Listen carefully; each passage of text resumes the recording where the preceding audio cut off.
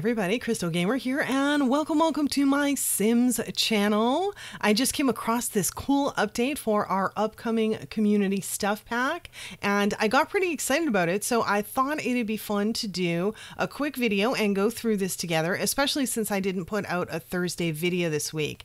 So I know some of you have probably seen this already, but you know, maybe you want to stick around anyway. Either way, here we go behind the scenes of the community voted knitting stuff pack. So Sim Guru Connor is giving us a sneak peek at the upcoming stuff pack. And in the first welcoming section here, the main part about this, the, the important takeaway is the few items that he lists that we can knit. And they include a plushie, a plushie, a hat, and a mailbox. Now, I can't help but be interested in how one can possibly knit a mailbox, but you know, it's The Sims. Anything's possible. So I'm very interested to see what that is going to look like. And then, of course, we get some Create a Sim improvements, which I think a lot of us expected this, especially since we're obviously going to be able to knit clothes, which is pretty cool. We are going to have unlocked or, or the ability to unlock exclusive knitted clothing in CAS. So, and making it available for everyone in the household to wear. So, obviously, we're going to have clothes for kids on all the way up. And one would kind of expect that because you sort of expect grandma to maybe knit stuff for the little kitties or something like that. So, so that's good. So they give them they give us stuff for all of the different sims.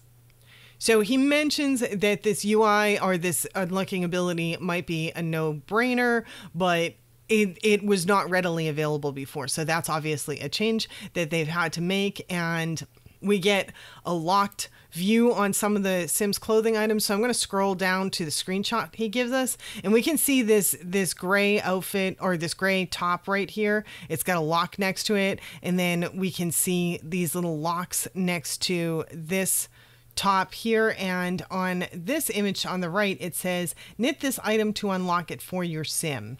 So yeah so we're going to see stuff like that in CAS and let's see does he say anything else? No he just talks about the the ui mock-ups so.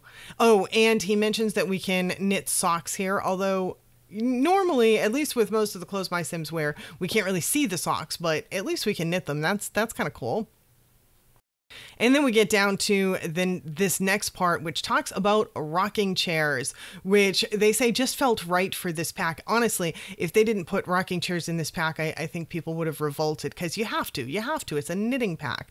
And this is one of the things that I think I really like about this pack. I kind of wish that they also gave us those um the swinging porch chairs, you know, the kind that that like hang from from the top of your porch. That'd be super cool because I I could totally imagine imagine grandma knitting something from the, the swinging porch chair. But, you know, let's not let's not focus on things we're not getting. We'll focus on what we're getting, which is the rocking chair. And they're basically trying to make everything that we can do while the sim is sitting, they're trying to make it work while they're in rocking chairs. So that includes things like talking, watching TV, listening to music, reading books, and obviously knitting.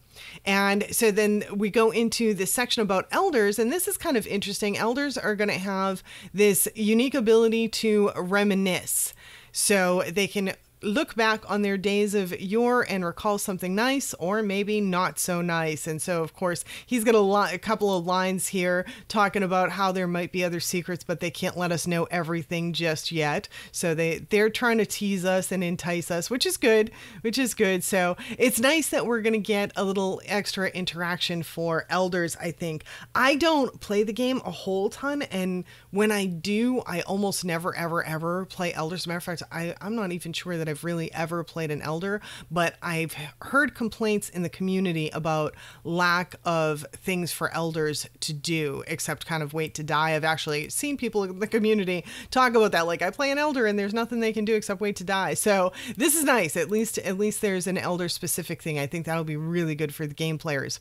And the next section, this is my favorite section. All right, so this is the main thing that spurred this video because I'm super excited about this. So, Plopsy. It's what a great name. God, I love this name. So, what is Plopsy? Plopsy is, in my opinion, after reading this, to me, it's Etsy, right? It's it's it's being modeled after Etsy. So, for anyone unfamiliar, it's an online store where Etsy is like the biggest online store where people sell crafts and things that they make at home and and it's it's a lot of handmade stuff. And so they're giving us that in The Sims, which is super cool because I love stuff when I do play the game, I love stuff that's not your standard 9 to 5 career. Anything that my sim can do that's outside of the normal 9 to 5 is almost always what I have my sim do. So this is a great way to make side money money. You can have your sim knit stuff, put it up on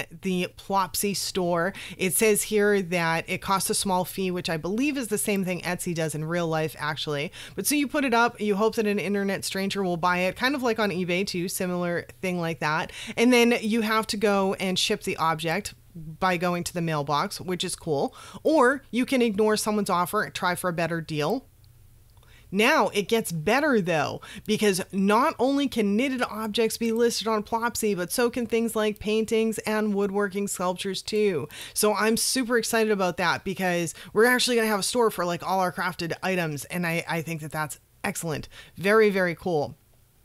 And then this next line is kind of key to me as well. Whichever item you choose to sell, you should hopefully make more of a profit with Plopsy than selling things the old fashioned way. So that's cool to me because it gives us incentive to use that online store. So I very, very much like this element. I love this. I think it's very cool.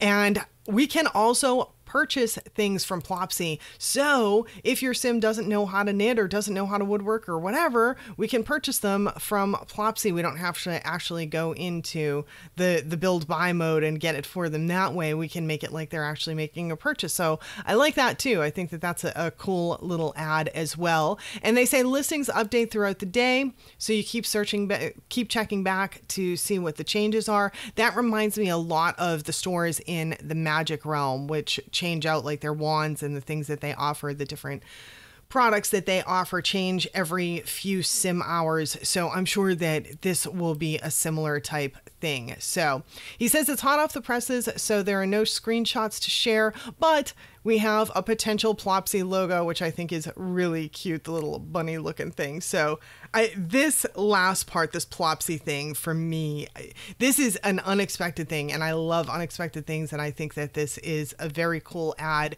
It made the pack a whole lot more interesting to me personally, because I wasn't one of the ones that voted for the, the knitting pack. Actually, I voted for um, either sculpting or glass blowing were, were my top two choices. So knitting was not in my top choice. So I'm happy, especially with the rocking chairs and the Plopsy thing, it's made it it's made the pack a lot more enticing to me. So I'd be interested to know what do you guys think? Let me know in the comments down below. And if you enjoyed this video, do hit the like button. And if you're not yet subscribed and you like Sims content, definitely hit that subscribe button. And thank you all for spending the time with me today. I hope to see y'all back again next time.